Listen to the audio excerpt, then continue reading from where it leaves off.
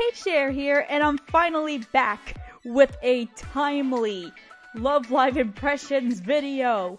And today, we're gonna be talking about the new QU4RTZ single.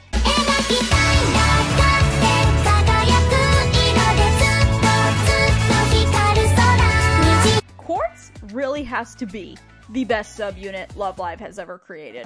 Well, next to Guilty Kiss, but I digress. Every single song that Kasumi, Emma, Rina, and Kanata make together is the most adorable thing on the face of the planet, like there's nothing wrong with it. Even so, Pastel is the most Nijigasaki song I have ever heard from a subunit, and I greatly appreciate that the overall group musical theme remains within the subunit. Muse and Aqours' subunits also do the same thing, but when Nijigasaki release their subunits, or when a subunit does release a new song, sometimes it hits, other times it makes me question whether they were meant for that group, because as I mentioned in the, in the past, sometimes some other songs felt like they were meant for different seiyus or different characters. And nothing is more prevalent than the Nijigasaki subunits. However, when I heard Pastel for the first time, I did not question a thing.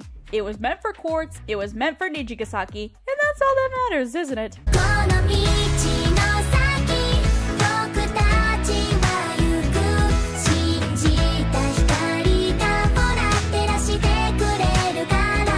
Japanese for down the road, Michi no Saki is the definition of an autumn J-pop song. I can imagine hitting the song up while camping with my friends with cups of hot chocolate. I'm kidding though. It would be glamping because I cannot stand the outdoors. I've lived in New Jersey all my life. There are things that'll kill you out in those woods. And don't even get me started about the wildlife in Florida either. Anyway, this little ditty is QU4RTZ teaching us that you are allowed to chill even with an upbeat sound, and I couldn't be happier about it. I can just imagine myself being little Kasumi shuffling side to side and clapping to the beat. I'm such a cute nerd, I know. And that's it for today's video. If you liked what you saw and heard, please hit the like button, don't forget to hit me up in the comments with your opinions about the songs.